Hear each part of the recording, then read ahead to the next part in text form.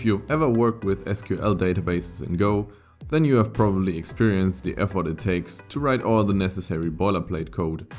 After all that being done, the next issue eventually occurs when adding, removing or changing columns in your tables. Either you forget to add a new field to your Go structs or simply mix up the columns in your queries. But let me tell you, there is a tool for that. Hey guys, this is Philip with Go Web Examples and today we will be looking at a tool called SQLC. What is SQLC and how does it work? SQLC is a code generator tool written in Go, which reads your database schema and SQL queries and generates Go code out of that. So instead of writing your Go code that queries your SQL database, you just write all your queries into a single file, give it some meta information and let it generate your Go code. The really cool thing about SQLC is that it actually parses your database schema, its data types and your written queries. With that internal map of your database, it can then go ahead and check for integrity issues, syntax errors, or invalid columns or tables. After that is being processed, it then generates structs for your tables and methods for your queries. To start off, I've created an empty Go module in beforehand with the go mod init command. Since we might use this tool more often in the future, I'd like to install it globally into my Go path. To do that, let's move out of our current project directory, for example into slash tmp and go on from there. The installation of SQLC is very simple, so we can just type into our terminal go get github.com slash Kyle Conroy slash sqlc slash cmd slash sqlc. This might take a few moments to grab all its dependencies. Once that is done, let's install it so it's globally available by typing go install github.com slash Kyle Conroy slash sqlc slash cmd slash sqlc and verify everything was installed correctly by typing in sqlc. As we can see, sqlc was installed successfully. Let's get back to our project directory. SQLC is very simple to use. We basically just need two of all its commands. The first is sqlc init, which generates an empty settings file for our configuration. Let's open up the newly generated sqlc.yaml file. As you can see, this file is pretty empty. We have to define our desired settings on our own. First, let's get rid of the empty brackets and start to configure our package. I've pasted in all the necessary configuration settings for you, but let's look at each of them individually. Name specifies the package name the generated code will be using. I like to call it Postgres, as this is our backing database engine. Path defines where the generated code should be placed.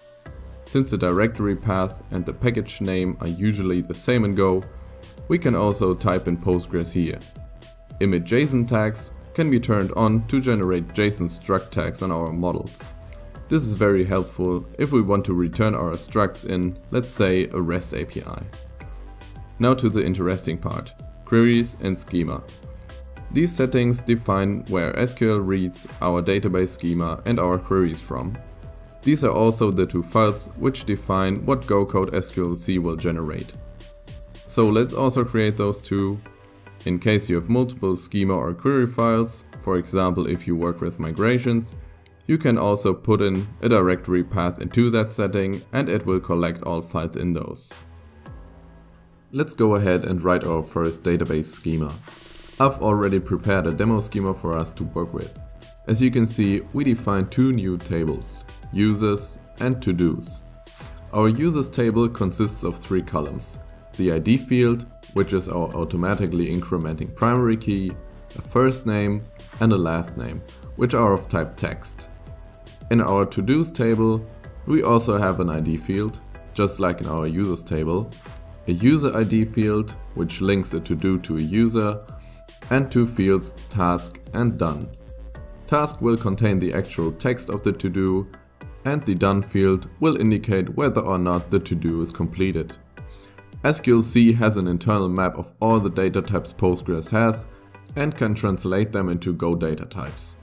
This is very handy, so you never end up with inconsistencies, for example if your schema defines a nullable field while a Go struct does not. Once we are happy with our schema, we can define our queries. SQL wants us to write our queries in a special but very simple format. Let me paste in some queries for us to take a look at. As you can see, these queries look very simple, just like any other query you could directly use for retrieving data from your database.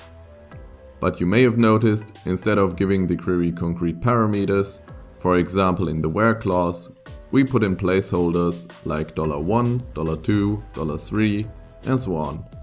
These placeholders will be passed and filled later in the code generation. The most important part of this format though is the SQL comment right above each query. It consists of two parts. The first one being name. Here we define what the go method should be called during the code generation. The second one, which has three possible options, colon many, colon 1 and colon exec. This part specifies what the return value of our go method should look like. If we want the query to return a slice of results, we write colon many. If our query just returns a single value, for example in the getUser query, we write colon 1. If our query has no return value at all, like in a delete query, we can simply write colon exec. You may have also noticed the create user and create to do query have the colon 1 argument, even though they do not query the database, but instead insert a new table row. Well, we could specify the colon exec argument, but if we did that, we wouldn't know what the actual inserted values would be, in this particular case the user ID so we specify the colon 1 argument to read back everything we've inserted. Once everything is said and done, let's let the magic happen. We open up our terminal again and simply write sqlc generate. If sqlc encounters a problem while passing our files, it will report exactly the location where the problem occurred. But in our case, everything was fine. As you can see, a new folder, Postgres, was created. Let's firstly open up the db.go file and take a look at what sqlc generated for us. In this file, sqlc generated a new interface which matches the methods of the Go standard database SQL package. It also generated the new function to wrap our database connection into. The new function returns the query struct where the methods from our queries attach to. The withtx function is a helper function in case we would like to run multiple queries in a single SQL transaction. Now let's look at the models.go file. Here we can see these are the Go structs which have been parsed and generated based on our schema. As you might have noticed, all fields and data types match exactly what we've defined before. The last file it generated is the queries.sql.go file. This file contains all the wrappers for our queries with method names and return values we've specified.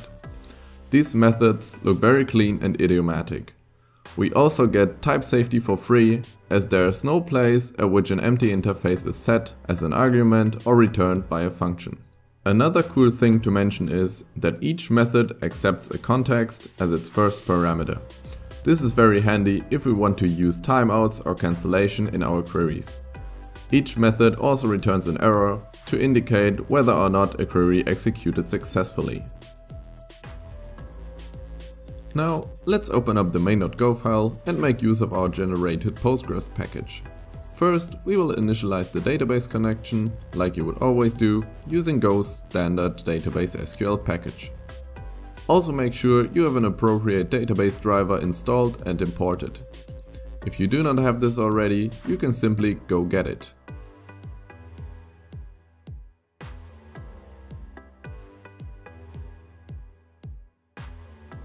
Next, we have to wrap our database connection into our generated Postgres package.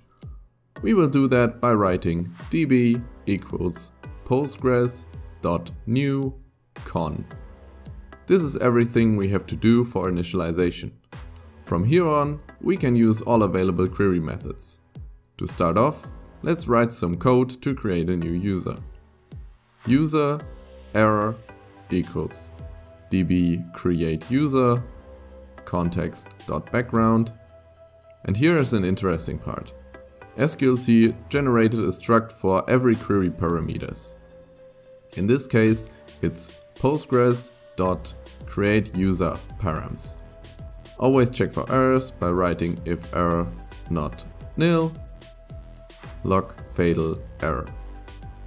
Let's fill in all the necessary query parameters by writing first name colon John and last name colon Doe. Once we have our inserted user, let's print it out to the console by writing log println user. Alright, now that we're done coding, let's test it real quick and see if it works. I already have a database running in the background where I've created the tables from our schema before. So just make sure you have that running for you too. Let's run this by typing go run main.go and wow, everything works perfectly. If you like these kind of videos, I would highly appreciate if you leave me a like down below. Thank you guys for watching and happy coding!